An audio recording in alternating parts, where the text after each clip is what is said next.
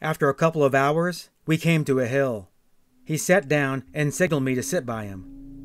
He said that once upon a time there was a young man, a destitute Indian, who lived among the white men in the city. He had no home, no relatives, no friends. He had come to the city to find his fortune and found only misery and pain. From time to time, he made a few cents working like a mule, barely enough for a morsel. Otherwise, he had to beg or steal for food. Don Juan said that one day the young man went to the marketplace. He walked up and down the street in a haze, his eyes wild upon seeing all the good things that were gathered there.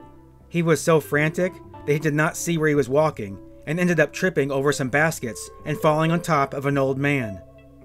The old man was carrying four enormous gourds and had just sat down to rest and eat. The old man found it quite strange that the young man had stumbled upon him. He was not angry at being disturbed, but amazed at why this particular young man had fallen on top of him. The young man, on the other hand, was angry and told him to get out of his way. He was not concerned at all about the ultimate reason for their meeting. He had not noticed that their paths had actually crossed. The old man's gourds had turned over and were rolling down the street. When the young man saw the gourds, he thought he had found his food for the day. He helped the old man up and insisted on helping him carry the heavy gourds. The old man told him he was on his way home in the mountains, and the young man insisted on going with him. The old man took the road to the mountains, and as he walked, he gave the young man part of the food he had bought at the market.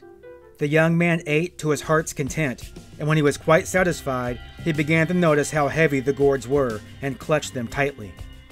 What do you carry in these gourds?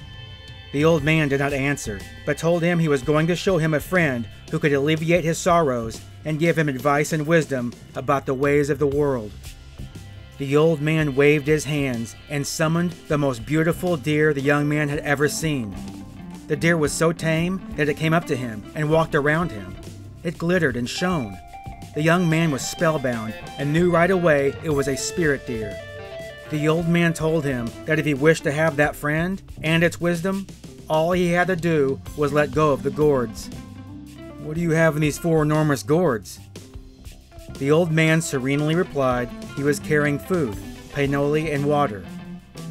The young man had not believed a word.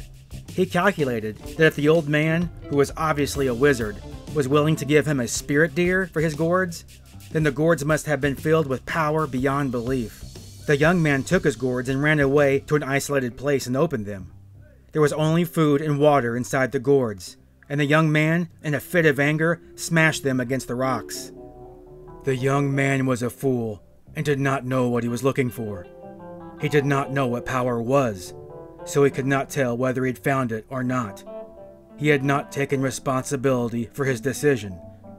Therefore, he was angered by his blunder he expected to gain something and got nothing instead. Don Juan speculated that if I were the young man and if I followed my inclinations, I would have ended up angry and remorseful and would, no doubt, have spent the rest of my life feeling sorry for myself for what I had lost. Had he been aware of his decision and assumed responsibility for it, he would have taken the food and would have been more than satisfied with it. And perhaps he might have even realized that the food was power too.